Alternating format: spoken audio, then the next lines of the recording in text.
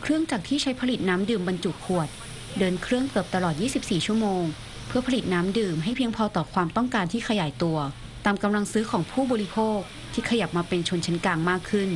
ด้านตลาดน้ำดื่มของไทยยังเติบโตได้ดี ส่งผลให้เกิดการแข่งขันในกลุ่มผู้ผลิตน้ำดื่ม โดยเฉพาะรายใหญ่ ๆ ของประเทศที่เร่งสร้างความน่าสนใจให้กับสินค้าของตนเอง ตลาดน้ำดื่มที่เติบโตอย่างต่อเนื่องในแต่ละปีทำให้ผู้ประกอบการต้องเร่งขยายกำลังการผลิตและเพิ่มโรงงาน ประกอบกับการแข่งขันที่รุนแรงทำให้ผู้ประกอบการต้องหาเอกลักษณ์ให้กับสินค้าของตนเอง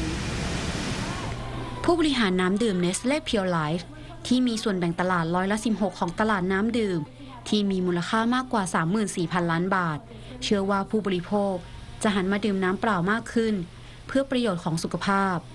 โดย Nestle ยังได้นำเทคโนโลยี v c e p มาใช้ในการผลิตน้ำดื่มเป็นรายแรกของประเทศไทยทำให้ใช้น้ำได้คุ้มค่า และเป็นมิตรกับสิ่งแวดล้อม พอลดการปล่อยก๊าซคาร์บอนไดออกไซด์ส่วนการเติบโตของธุรกิจน้ำดื่มในไทยเนสเลเชื่อว่าจะเติบโตในตัวเลข 2 หลัก และปีนี้ตั้งเป้าจะเพิ่มส่วนแบ่งการตลาดให้มากขึ้นจากเดิม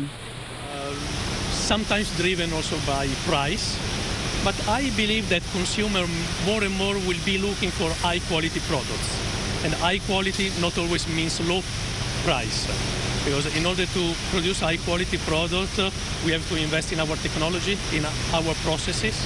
Let's say in order to ensure that our consumer, when, when they drink a bottle of water, let's say they are contributing to their, to their healthy hydration. ตลาดน้ำดื่มที่แข่งขันกันอย่างเข้มข้นในปีนี้ทำให้ผู้ผลิตเลือกผลิตน้ำดื่มที่มีคุณภาพ และยังหาวิธีสร้างมูลค่าให้กับสินค้า ซึ่งถือว่าเป็นผลดีโดยตรงต่อผู้บริโภค และการนำเทคโนโลยีใหม่ๆ เข้ามาใช้ในการผลิตน้ำดื่ม ถือเป็นการยกระดับให้ไทย เข้าสู่ประเทศที่ใช้นวัตกรรม ซึ่งจะเป็นผลดีต่อประเทศในอนาคตอย่างแน่นอน อัมพิกาศรีโพธาข่าวจริง Spring News รายงาน